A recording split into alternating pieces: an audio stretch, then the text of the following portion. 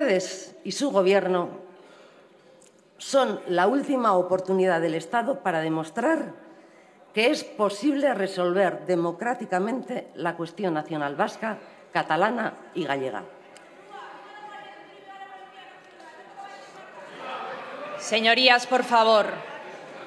Y lo decimos, y lo decimos, Señorías, por favor.